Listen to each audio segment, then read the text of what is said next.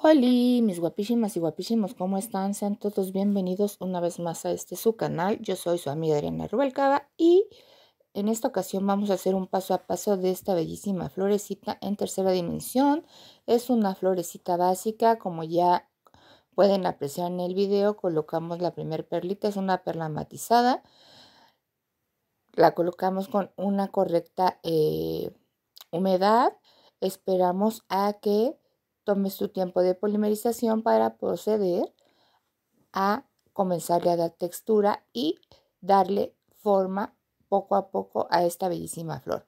Como se puede apreciar aquí en el video, vamos girando poco a poco entre pétalo y pétalo para darle forma a la florecita. Al decir vamos girando, es que le vamos dando este movimiento a lo que son los petalitos para que vaya tomando una mejor este, estructura en nuestra florecita de 3D. Aquí ya vamos con la siguiente capa. Entre capa y capa, nuestras perlas tienen que ir cambiando de tamaño para que haya una armonía y balance dentro de nuestro diseño. Aquí estamos colocando un próximo petalito, le vamos dando forma, lo vamos modificando de acuerdo a como nosotros nos vaya gustando la realización de esta bellísima flor para posteriormente colocar el siguiente pétalo. Nosotros podemos rematar o remachar esta bellísima flor, ya sea con un em, petalito para formar una espiral. Podemos colocar un cristalito como es el caso. Me gusta muchísimo utilizar este artículos de decoración,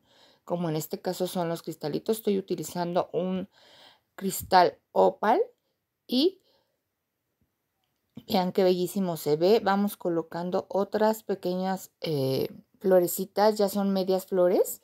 Vamos armando aquí nuestro petalito, le vamos dando forma. Hay que esperar el momento justo de polimerización para poder proceder a darle presión a nuestro pétalo y se vea lindo. Aquí es muy importante esto, que los pétalos se vean bien estructurados, que no se vean apelmazados, que no se vean totalmente aplastados. Debe haber un balance dentro de lo que es nuestro diseñito y como lo hicimos en, el, en la florecita anterior colocamos una, un cristalito, un artículo de decoración. Ahora con dos tonos de verde vamos realizando lo que son las hojitas para darle muchísimo más em, cuestión visual a nuestro diseño que se vea muchísimo más lindo, más vistoso es muy, muy importante. Me gusta muchísimo trabajar con perlas matizadas, eso de todas maneras da muchísimo realce a nuestro diseño.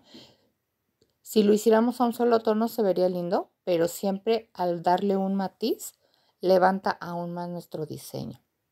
Aquí estamos realizando más hojitas para irle dando terminado a lo que es nuestro diseño. Espero que les esté gustando, que lo lleven a la práctica Solamente le vamos a agregar con un poco de glue gel unos cuantos balincitos porque también eso le da muchísima vista a nuestro diseño.